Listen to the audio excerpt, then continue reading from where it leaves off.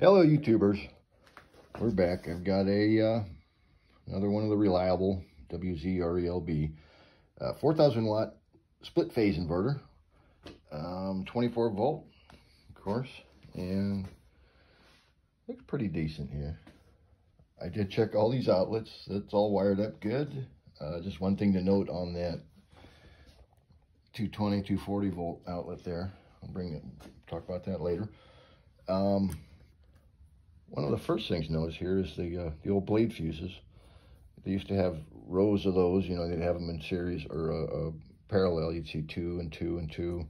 You usually end up with about eight of these blade fuses. They've just replaced that with one 200 amp fuse. And they give you a spare. Um, I'm planning on, anyways, I'm going to put a 150 amp fuse on. So it's going to kind of negate that 200. Hopefully that 200 never has to pop.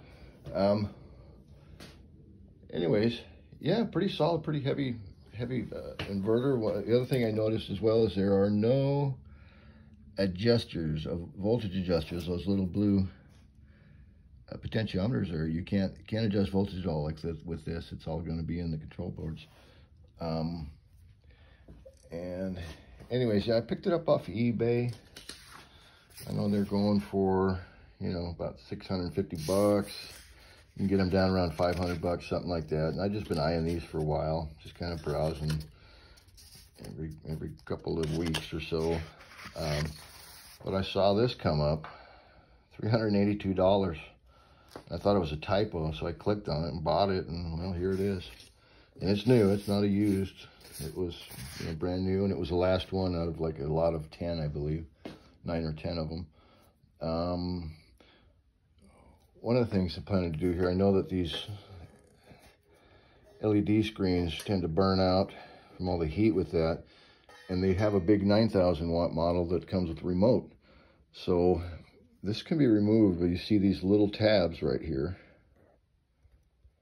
Those little tabs, you just gently push them down and in from the back of this case, the back side of that case, and this, and they gently pop each corner out, and this this comes out real easy.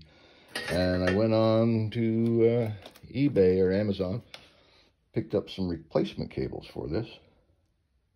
So now what I can do is plug that in there, splice this, and have a, you know, 12 foot, 15, 16 foot remote. That way I can keep this well away from the unit and keep the heat out, at, not an issue.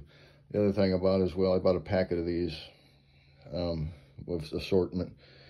And I can use this on the power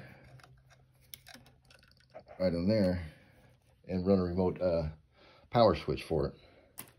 So that's kind of cool.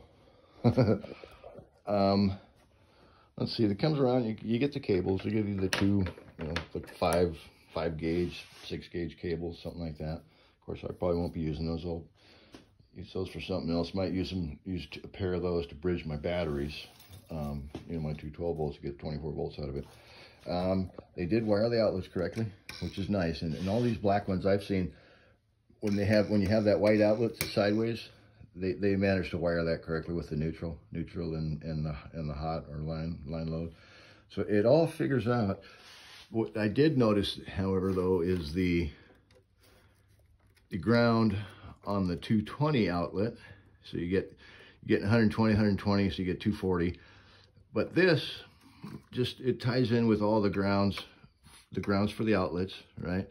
And then it also ties in with this, this ground here. So if you were to earth ground that, you wouldn't necessarily get the 110 you need, I don't think, from, say, say for example, you plugged in something like a heavy freezer or fridge that had the compressor, you need the 220, and then you also need a 110 fan or lights or something like that in there.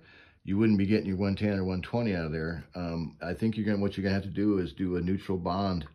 Take your neutral to your ground if you're using this solo. And of course, if you're hooking it into a panel and you do a neutral bond in a, in a panel, um, then it will bond that ground. That ground will then be bonded and you'll have the 110 circuit between either of these legs from that ground up. So just remember that that's only connected to ground. There's no neutral connection on that. So the only way, if you have one of those type of appliances that needs, needs 110 as well as 220 and the same plug, you know, for that same appliance, you'll have to probably do a, a, jumper between the ground and neutral there. So anyways, little, little pre-video, I'll be getting it going and, and do some testing on it and I'll make another video. We'll test out the, uh, this 220 capabilities and whatnot. Okay, watts in, watts out. Check it out.